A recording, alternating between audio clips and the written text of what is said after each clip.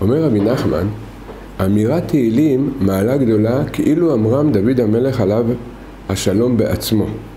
כי הוא אמרם ברוח הקודש, ובתוך התיבות של התהילים מונח רוח הקודש של דוד המלך.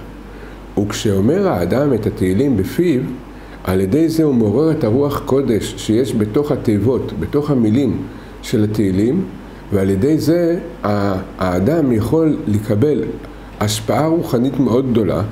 אומר רבי נחמן, שעיקר הרפואות בעולם נמשכים על ידי שעם ישראל אומר תהילים. ולכן מי שיש אחד ממקורביו, יש לו חולה, או שהאדם בעצמו חולה ויכול להגיד תהילים, על ידי זה מעורר את הכוח הרוחני שיש בתוך התהילים, וממשיך רפואה גדולה מאוד על ידי אמירת, הת... על ידי אמירת התהילים. אומר רבי נחמן, ולא רק רפואה ממשיך, אלא ממשיך גם ביטחון בקדוש ברוך הוא. דהיינו, שאדם מתחזק בביטחון שרק הקדוש ברוך הוא יכול לרפות אותנו. הרופאים הם שליחים, אבל כדי שהשליח יוכל לעשות את שליחותו, הוא צריך לקבל סיוע מהקדוש ברוך הוא.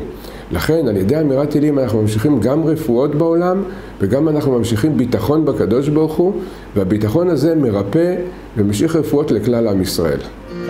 להקדשת השיעורים של הרב להצלחה, לזיווג, שלום בית, רפואה, לעילוי נשמת. התרומה עבור עזרה להפצת התורה. ניתן לפנות לטלפון 02-650-2929.